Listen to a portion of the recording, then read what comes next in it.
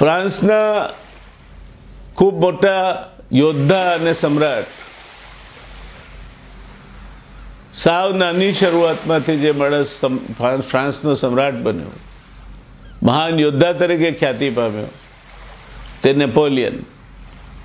એ નેપોલિયને એવું કહ્યું છે કે જે માણસ નાની નાની વિગતોનો વિચાર કરીને તેનો ઉપાય તૈયાર રાખે છે, તે જ યુદ્ધમાં વિજયી થાય છે.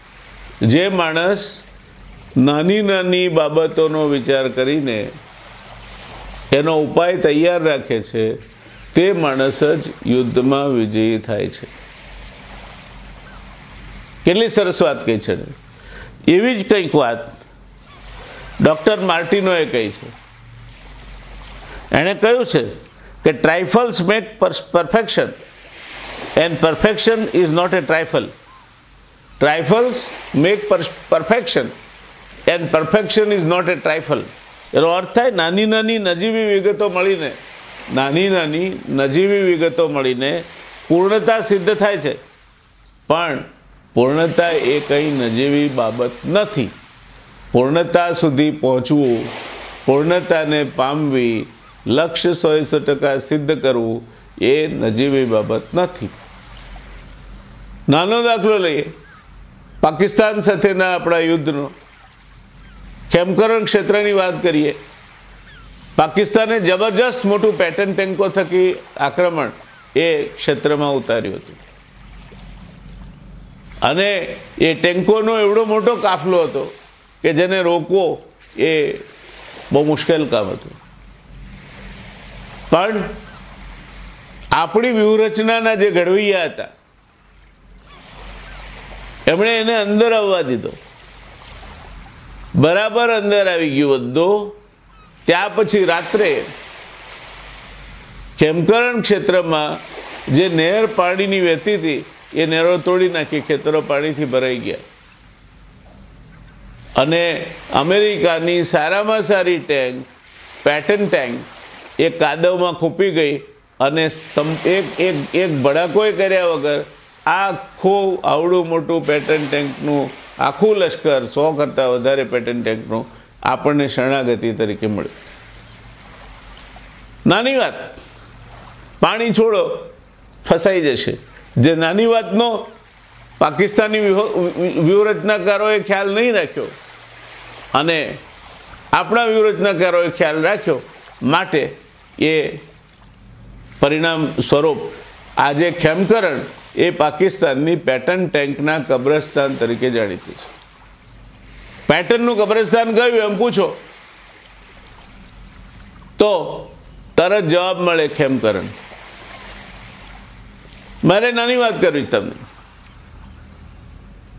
આ નાની નાની વાતોની આપણે વાત કરીએ છીએ એટલા માટે વાત કરું છું. એક રેલવે એન્જિન કેવડું મોટું હોય છે? જબરજસ્ત મોટું એન્જિન. કેટલા બધા ડબ્બાને ખેંચી જાય?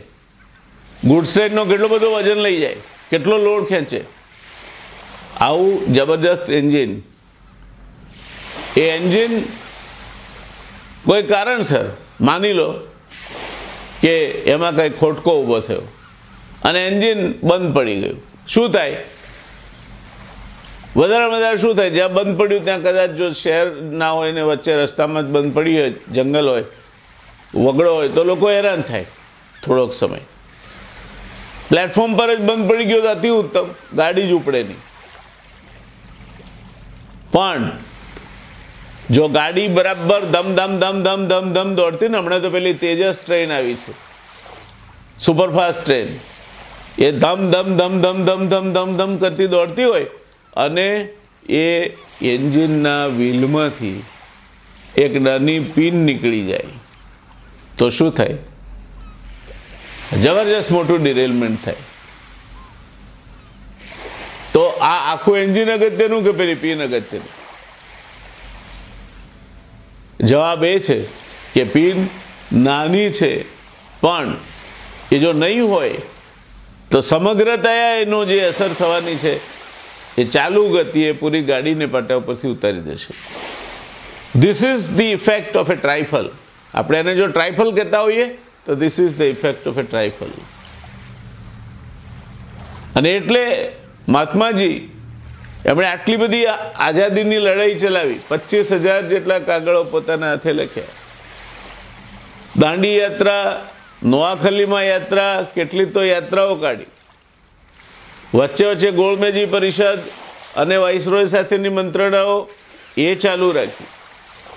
આશ્રમનું કામ સંભાળ્યું. વર્ધા અને અમદાવાદ આશ્રમ વચ્ચે સંકલન કરવાનું ચાલુ રાખ્યું. અને આ બધું કરતા કરતા જેલમાં પણ હાજરી પુરાઈ આવે. આ મહાત્મા ગાંધી. અને એ મહાત્મા ગાંધી આટલું બધું કરતા હોય ત્યારે એમની જગ્યાએ તમે કે હું હોઈએ તો શું કહીએ? આપણે એમ કહીએ કે ભાઈ ટાઈમ નથી. આટલી બધી માથા પર જવાબદારીઓ છે. મારે દાંડી યાત્રા કાઢવાની છે. મારે અહીં જવાનું છે. મને વાઇસરોએ બોલાવ્યો છે. મારે, મને લાગે છે ગોળમેજી પરિષદ માટે કે બીજા કોઈ ચર્ચા માટે ઇંગ્લેન્ડ જવું પડશે. સમય ક્યાં છે ભાઈ? તમે આ નાની નાની વસ્તુઓ લઈને મારી પાસે આવો છો. પણ એ સમય હતો, એ આયોજન હતું, એ દરકાર હતી, માટે મહાત્મા ગાંધી પોતાની લડતમાં સફળ થયા. માટે મહાત્મા ગાંધી આપણા સર્વોત્કૃષ્ટ નેતા બની શક્યા. એનો એક દાખલો છે. જેમ મોસમ બદલાય, તેમ હવાની દિશા પણ બદલાય. અને એટલે આપણા ત્યાં સૂર્યપ્રકાશને હવાની દિશાને ધ્યાનમાં રાખીને મકાનોના આયોજન થતા હોય છે. શિયાળા વખતે થોડું ગરમ રહે ઘર, ઉનાળા વખતે થોડું ઠંડુ રહે તો આ પ્રકારની આખી વાત, એમાં એક દિવસ ચંપારણ બાપુ તપાસ માટે ગયા હતા. ત્યાં પેલા ગળીની ખેતી થતી હતી.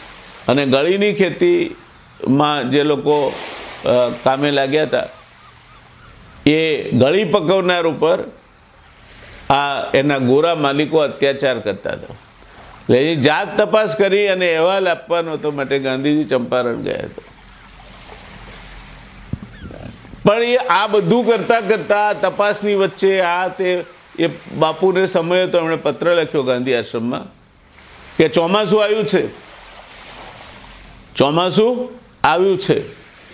હવે પવનની દિશા બદલાશે. અને હવે પવનની દિશા બદલાશે માટે જ્યાં સુધી લાગે વળગે છે આ પવનની દિશા અને વ્યવસ્થાને ત્યાં સુધી, અત્યાર સુધી તમે જે ખાડામાં પાયખાના ખાલી કરો છો, તે ખાડામાં જો પાયખાના ખાલી કરશો, તો એની દુર્ગંધ પવન લઈને આશ્રમ પર આવશે. માટે હવે ત્યાં એ ખાડામાં પાયખાના ખાલી કરવાનું બંધ કરો અને બીજી બાજુ પવનથી વિરુદ્ધની દિશામાં તમે ખાડા ખોદી અને પાયખાના ખાલી કરવા માટેનું સ્થળ બદલો. સાવ નાની વાત છે. આશ્રમના અંતેવાસીઓ કંઈ સાવ અભણતો હતા જ નહીં. સાવ ભોટ પણ નહોતા. બાપુની સાથે તૈયાર થયા હતા. કોઈને કોઈ સિનિયર માણસ તો ત્યાં એમની વચ્ચે હોય જ. એ તેવે સમયે આ ચિંતા બાપુએ પોતે કરવાની ક્યાં જરૂર હતી? પણ ના નાનામાં નાની વાતનું પણ ધ્યાન રાખે તે નેતા. અને નાનામાં નાની વાતનું ધ્યાન ન રાખે અને નાનામાં નાની વાતના કારણે લશ્કર જો ખાડામાં પડે, તો એનો જવાબદાર પણ નેતા. બીજા વિશ્વયુદ્ધમાં જ્યારે નોર્મન્ડી બીચ ઉપર સાથી રાષ્ટ્રોના એમ્ફેમ્બિયન ફોર્સીસે હમલો કર્યો, ત્યારે થોડાક સમય માટે એમના વિમાનો આવી અને પેરાશૂટથી એક ઢીંગલી નાખી જતા હતા. અને આવી ઢીંગલીઓ જાત જાતની જગ્યાએથી મળતી હતી. એટલે પહેલાં સૈનિકો એ લઈ આવી અને એમના કમાન્ડરને બતાવી કે જો આવું રાખીએ આ લોકોને કંઈ ધંધો નથી. મગજ એમના આપણા આપણા લોકોથી ગભરાઈ ગયા છે. મગજ ચસકી ગયા લાગે છે, ડિપ્રેશનમાં લાગે છે. આવું નાખી જાય છે. અને ત્યારે પેલા માણસે જવાબ આપ્યો કે હંમેશા નોંધી રાખો in any war nothing happens without reason don't take it lightly કોઈ પણ યુદ્ધમાં કોઈ પણ સ્પર્ધામાં કંઈ પણ ઘટના બને છે, એ કારણ વગર બનતી નથી. એને હળવાશથી ન લો. ભલે ગમે તેટલી નાનામાં નાની ઘટના હોય. અને નાનામાં નાની ઘટનાને હળવાશથી નહીં લો, તો જ અંતિમ યુદ્ધ જીતી શકાશે. અને તો જ જે વાત નેપોલિયને કહી છે કે જે માણસ નાની નાની વિગતોનો વિચાર કરીને, જે માણસ નાની નાની વિગતોનો વિચાર કરીને તેનો ઉપાય તૈયાર રાખે છે. તે જ યુદ્ધમાં વિજયી થાય છે. યુદ્ધનો અર્થ માત્ર યુદ્ધ પૂરતો મર્યાદિત નથી રાખવાનો. યુદ્ધનો અર્થ સ્પર્ધા પણ થાય. અને નાની નાની બાબતોનો વિચાર કરવાનો એટલે શું? તમે ઇન્ટરવ્યૂ આપવા જાઓ છો. લેખિત તમારે પરીક્ષા આપવાની છે. બહારગામથી જાઓ છો. તો તમે બરાબર સમયસર જવાનું આયોજન કરીને જશો ને ક્યાંક ટ્રાફિક જામમાં ફસાઈ ગયા તો હેરાન હેરાન થઈ જશો અને માનસિક રીતે પણ તમે નિરાશ થઈ જશો. આગલા દિવસે જઈને એ જગ્યા જોઈ આવીએ. ક્યાં થઈને જવાય? આ રસ્તે જઈ- જઈએ તો આટલો સમય લાગે. બીજો રસ્તો કયો? બીજા રસ્તે જઈએ તો કેટલો સમય લાગે? આ બધાનો અભ્યાસ કર્યા પછી પણ એ જે જગ્યાએ પહોંચવાનું છે ત્યાં અડધો કલાક વહેલા પહોંચવાનું આયોજન કરે તે માણસ માનસિક સ્વસ્થતાથી ઇન્ટરવ્યૂ આપી શકે છે. માનસિક સ્વસ્થતાથી પોતાનો પરીક્ષાનો જવાબો લખી શકે છે. આ ન કરે ને મોડા પડે ને પેપર વેચાઈ ગયા હોય ને તમે માંડ માંડ વિનંતી કરીને પરીક્ષા લખવા બેસો, સાહેબ, વીસ માર્ક તમારા કપાઈ ગયા માની લેજો. આ અવોઇડેબલ ટેન્શન્સ છે. જિંદગીમાં આજના આ વીડિયો પરથી એક વાત લખી રાખજો. Please avoid avoidable tensions. જે પ્રકારની કામ વગરની ચિંતાઓ જે દૂર રાખી શકાય એને દૂર રાખો ને ભાઈ. સમયસર સ્ટેશન પર પહોંચવું જરૂરી છે. ગાડી પ્લેટફોર્મ પર આવતી હોય ને આપણે પ્લેટફોર્મ પર દાખલ થતા હોય. ઘણા લોકોને એવી ટેવ છે. હું તો એક્ઝેક્ટ ટાઈમમાં જવાળો માણસ પણ શું કરવા એક્ઝેક્ટ ટાઈમમાં જવાનું ભાઈ? અને ટાઈમમાં પછી રિક્ષાનું વાળાનું મશીન બંધ પડી ગયું ને, તે દાડે બ્લડ પ્રેશર સીધું એંસીનું એકસો ને વીસ થઈ જશે. ધીસ ઇઝ અવોઇડેબલ ટેન્શન શું કરો છો? પરીક્ષા આપવાની છે, સમયસર જાઓ, આગલા દિવસે જઈને જોઈ આવો, અડધો કલાક વહેલા પહોંચો, બધું આયોજન રાખો, પેન એક વધારાની રાખો, પેન્સિલ હોય તો વધારાની રાખો, બધી જ તૈયારી એ એમ સમજીને રાખો, જે એક અંગ્રેજી કહેવત કહે છે કે if things are going to go wrong they will go wrong at the most inopportune time જ્યારે તમે ન ઈચ્છો, ત્યારે જ આ બધું ખોટું પડશે. ત્યારે જ આ વસ્તુઓ તમને દગો દેશે. માટે આ તૈયારી રાખો. ઘણાને મેં જોયા છે મારા કેરિયરમાં ઇન્ટરવ્યૂ માટે બોલાવો. ફાઇલમાં બધા સર્ટિફિકેટ હોય. તમે એમને કહો કે તમારું બીએનું માર્કશીટ બતાવો. એટલે એ ગોટાળે ચડે, શોધવા માંડે. શા માટે ભાઈ? ફાઇલમાં તમે જે સર્ટિફિકેટો લઈને જાઓ છો, એને ટેગ મારી દો ને કે આ બીએનું સર્ટિફિકેટ એનસીસીનું સર્ટિફિકેટ અનુભવનું સર્ટિફિકેટ મેં આ પરીક્ષા પાસ કરી હતી એનું સર્ટિફિકેટ કોઈ તકલીફ નહીં પડે. પહેલાં જેવું પૂછે, એવું કે આ સાહેબ આ રહ્યું. એ તમે કેટલા ઓર્ગેનાઇઝ છો, એનો માપ કાઢવા માટેનો આ પ્રશ્ન છે.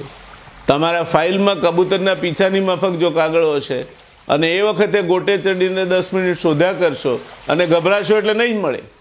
તો તમે તમારા હાથે જ તમારી નિષ્ફળતાનું આયોજન કરો છો. હવે નાની નાની વાતો છું, જેમ તમને જે ટીપ આપી રહ્યો છું, સાવ નાની બાબતો છે. પણ એ તમારી સફળતા અને નિષ્ફળતા વચ્ચેનું એક નિર્ણાયક પરિબળ પૂરું થાય છે. એ નિર્ણાયક પરિબળ પુરવાર એટલા માટે થાય છે કે નવ્વાણું બાબતો તમે કરીએ છે. આ સ્વામી બાબત નહીં કરીએ તો કડી જોડાશે જ નહીં. અને તમે કોઈ પણ પ્લગને સોકેટમાં નાખો અને સ્વિચ પાડો સ્વિચ જ ના પડે તો કરંટ નહીં ચાલુ થાય. બધું તૈયાર હોય તો પણ.